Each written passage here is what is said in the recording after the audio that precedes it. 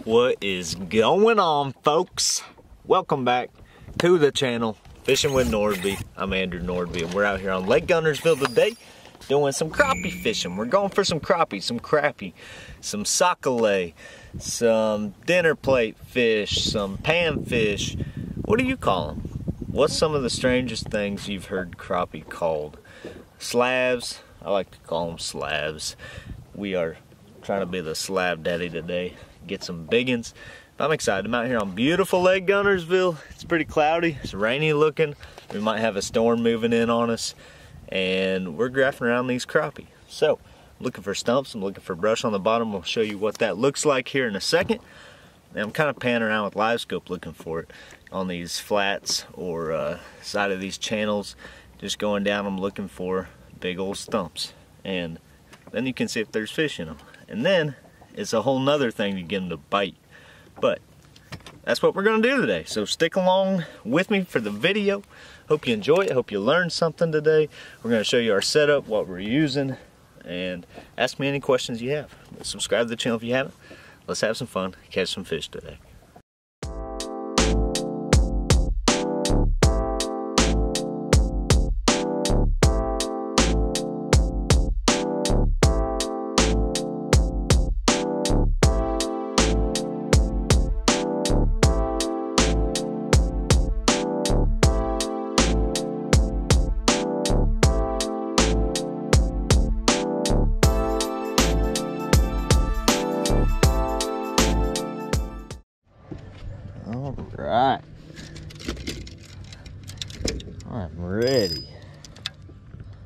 A tiny little jig on there, like these down below. Catches them when they're finicky.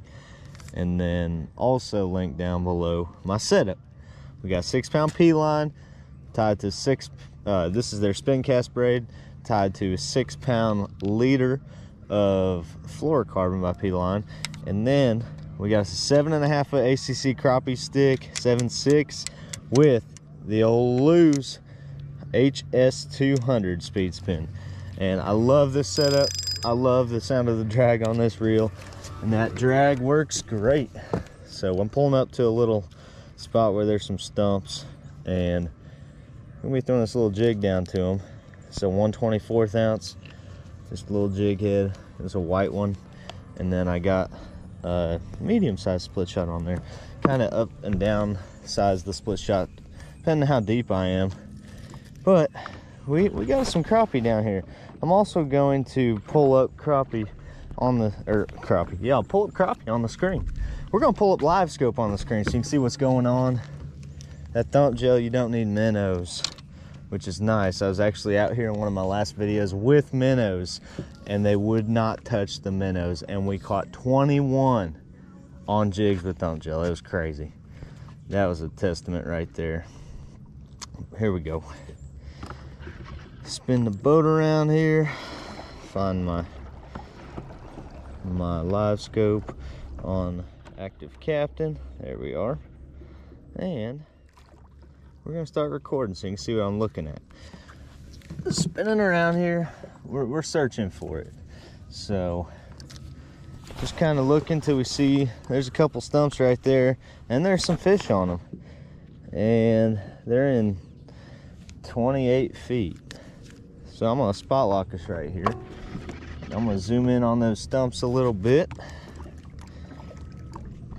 And I'm gonna cast my little jig down to them. We got some storms rolling in, so hopefully, hopefully they don't cause us to get off the lake. There we go. A little rain won't hurt, but not a big fan of the storms. You can kind of see my jig going down there. I'm by the bottom right now. I'm gonna come up over the top of this first stump so I don't get stuck on it. We go. And then I'm gonna drop down in between them a little bit. And I don't wanna get stuck on that one either. I'm gonna drop down right on the front side of this stump. Really don't see much for fish there. It's like two fish. Oh, one turned on me for a second.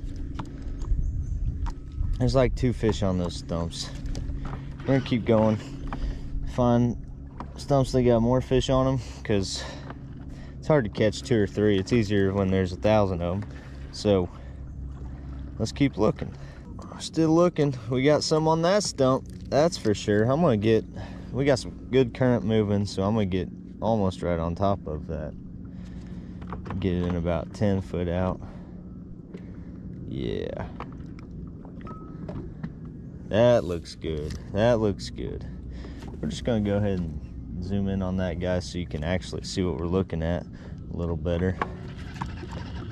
That's a good looking stump. It's close to us now. Where's my jig at? Oh, there I am. So I'm gonna basically take my jig down to it. Oh, they already smashed it. What the heck? They missed it.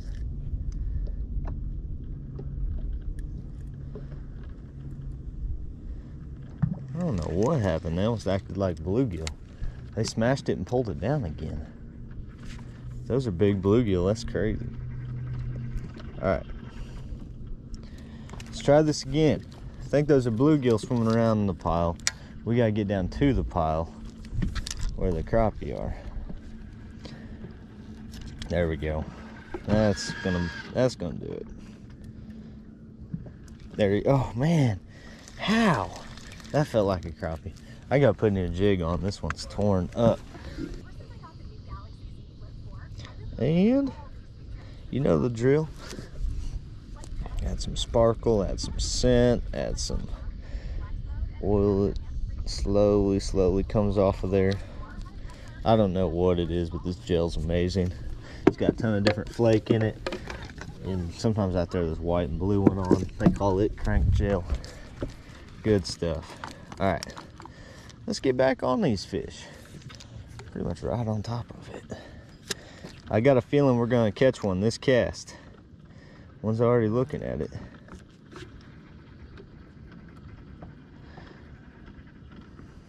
There he is. There he is. My trolling motor got in the way of the bite. Wow. That's why they're pulling me down. They're pulling me down. Little baby. That's a little baby. Get out of here. We want your daddy. We want your granddaddy. they followed it all the way off the pile.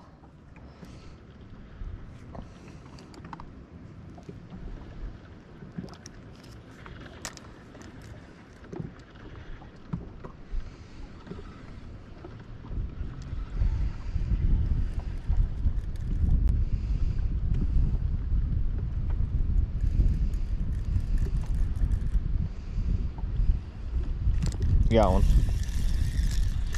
Came over the top of that pile and he ate it. Another baby, but this one's a keeper.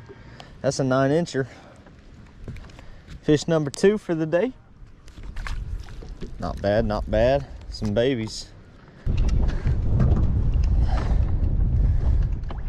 gonna go look for another pile because they're not doing it there. Caught a few on it. Let's try this this one 50 feet out. That one looks good.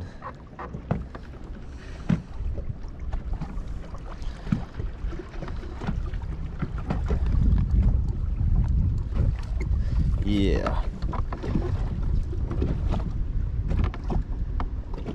Looks like there's a couple in there.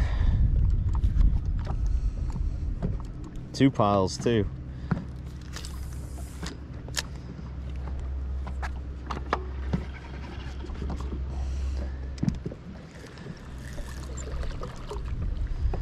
There we go. We're gonna catch one of these.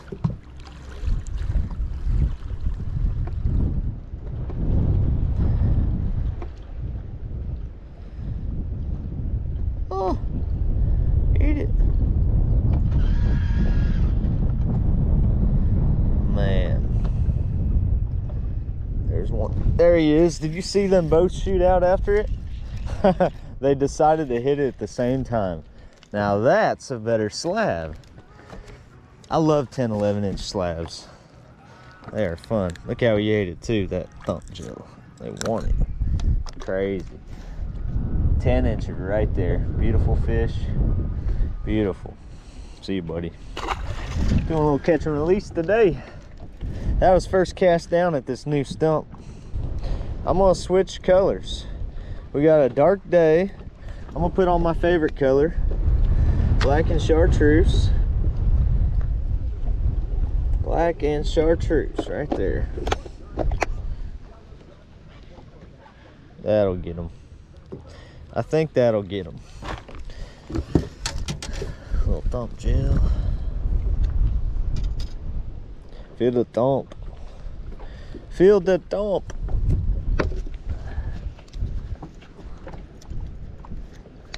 See if that made a difference. One little adjustment can make a big difference.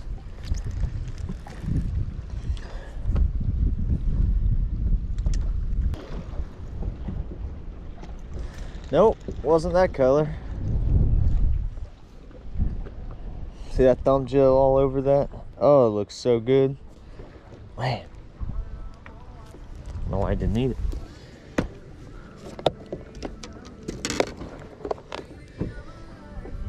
Let's try, let's try the shad color.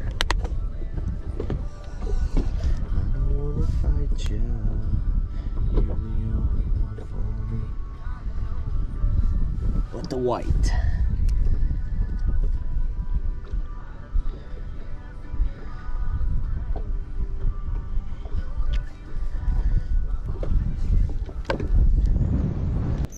Those look like little bluegill.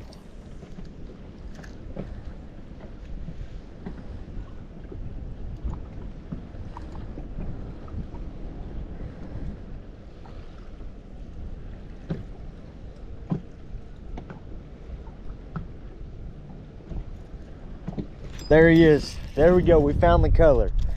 That's how you know. That is how you know right there. Boom.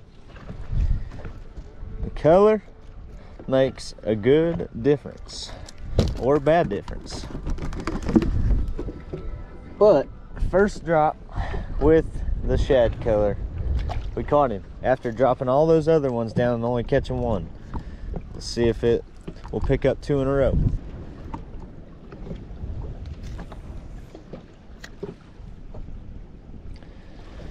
Dropping in on them. We got us one little log down there. It's got a few fish on it. Got him, first drop. oh, he was a roamer too. We found the color, folks. This is just a shad looking color on this dull rainy day. That might be all they want. All right, pulling up to another area where we're hoping there are some fish. So, I'm just gonna try and keep live scope up the whole time I'm looking at these piles and getting dialed in on them. Normally I do it after we're already dialed in, but let's let's go ahead and do it. Show you what I do when I get up here to the front. Start recording. Okay. First thing we gotta get dialed into our depth zone. There we go. Next thing we got to turn the gain up a little bit here. We're gonna zoom out. We're gonna look for this pile. We got some fish up by the top. Something going on here, some bait fish. Uh, a lot of bait fish. Those look like they might be crappie roaming down there at 60. Not on any brush. The cool thing is we can hit them at 60. The seven and a half foot rod, throw it down there to them. Uh, they kind of swam off the screen. Let's try again. Oh, there's our pile. There's our pile. We got some fish below us too that look big. We could hit those too. If I get hooked up with one of those, that might be a fight.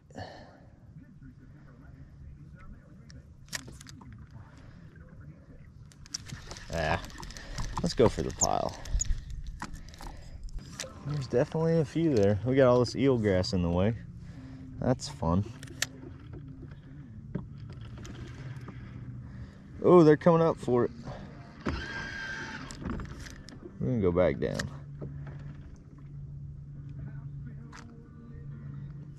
There he is. Got one. Got one. They're babies. That's why they're having trouble eating it. Babies. So, we'll, we'll catch a few more. If they're all that size, we'll go somewhere else. Hmm. Babies. I've never caught so many babies before than this year. It's like Lake Guntersville is loaded with the the next generation of crappie right now. I'm down in the middle of them right now. There we go, another one. Hey, that's why you don't quit fishing the pile after one baby. that's a better fish. Another 10 incher, second biggest one of the day.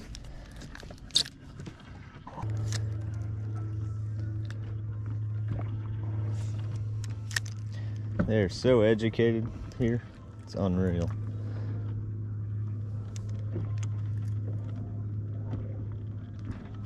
Got one. Man, finally. That's a good one too. Yeah, he's a little small. Ah! Quit it. Quit. Quit. Well, that's two.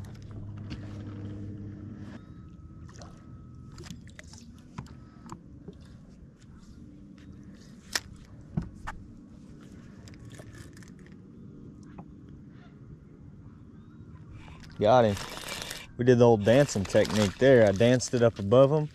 One shot up for it, and I stopped it, and they inhaled it. That's the technique I like to do. I'll show it to you again here. I know you just saw it, but here it is again. Drop down to them. The main, oh, we're on some eel grass. All right, we dance it, dance it. They shoot up for it, and I stop it. Boom. That's how they want it today. Okay, we just figured that out dancing our jigs for slabs. Maybe that should be the title of the video. Dancing our jigs for slabs. I think so. I think we're about to load up on them right here. Dance, dance, dance, dance. Stop. Boom. Oh man, that's unreal. How many can we catch in a quick little, little uh, five minute segment here? I don't want to know. We're gonna find out. Dance, dance, dance, dance, dance. Here they come. Oh, I didn't dance it long enough. Drop it back down to the whole school. Dance, dance, dance, dance. Stop. Boom. That's how they want it. Oh, that's awesome.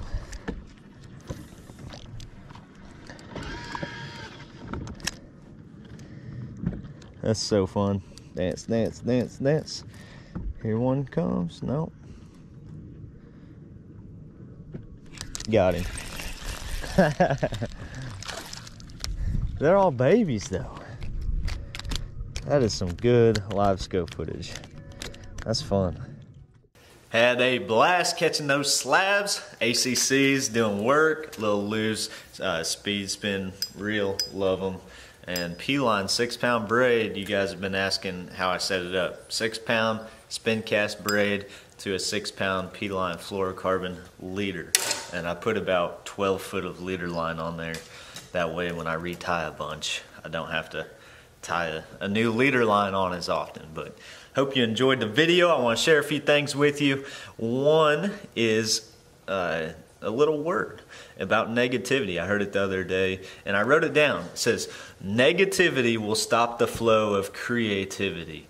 It'll stop the flow of the creator in your life. There is a dam built up in your heart blocking the flow uh, of creativity from the creator. You're stuck because of negativity. Negativity is like a cancer that eats away at positivity, turns everything from good to bad, positive to negative. If you don't guard your heart, if you don't take action to prevent negativity, negativity will grow in your heart like weeds in a flower bed and choke it out eventually. Or as I thought of like eel grass on Lake Guntersville and it'll just float everywhere and, get in your way and you'll be frustrated all the time. Uh, so that was that was a cool analogy uh, that I heard the other day. And I want to share whatever's clogging you up, causing bitterness, bitterness in your life, flush it out, guys. Flush it out. Come to the Lord, repent, and turn. Uh, gratefulness leads to great fullness. Quit being negative and be grateful. Cast out your negativity today. just want to share that with you. Uh, the verse that was shared along with that, Numbers 14, starting in verse 26 through 37, about uh, Moses and Aaron, the Lord talking to them. He said, How long will this wicked community grumble against me? I've heard the complaints of these grumbling Israelites. So tell them, As surely as I live, declares the Lord, I will do to you the very thing I heard you say. In this wilderness, your bodies will fall, every one of you, 20 years or old or more, who is counted in the census, who has grumbled against me. Not one of you will enter the land I swore with uplifted hand to make your home, except Caleb uh, and Joshua, who the, the two who, who did not uh, fear what the Lord wanted them to do uh, in going to the promised land. But read that whole thing Numbers 14, 26 through 37. That was just the start of it. Grumbling, complaining, being negative is not what the Lord wants of us. If you hear somebody talking bad about somebody, tell them, I don't want to hear that today. Like, I don't want to talk bad about people today. We are all part of God's creation. So, with that, we're going to feed God's creation here. We're going to feed little Ned real quick. All right. You ready, Ned? He's gonna rush over here. Oh, got him. There's another one swimming. He sees it. Got him. Ned is the man. He always eats those bluegill and he never complains. He might stare me down if he hasn't eaten and be like, Why aren't you feeding me, Dad? But he doesn't complain. Anyways, hope you guys enjoyed today's video. Remember, if you come to Lake Guntersville, please book our tiny homes at Sweet Springs. You can do that by the link below or calling 256-504-1303. So, please stay there if you come. Uh, I might come by and say hi if I'm able to. I'm there a lot at our wedding venue, and it's plenty of boat parking right by the state park, right next to three different boat ramps. Really good fishing. Come check it out. And remember, we're putting out a video every single day here in November. Got all the stuff we use linked below. If you're interested in that, we got some apparel on our website, fishingwithnordbye.com. Check out Dollar Jerky Club. Uh, some really good jerky. But anyways, God bless you guys. Thanks for watching. We're going to get out of here. Catch you on the next episode here at Fishing with Nordbye.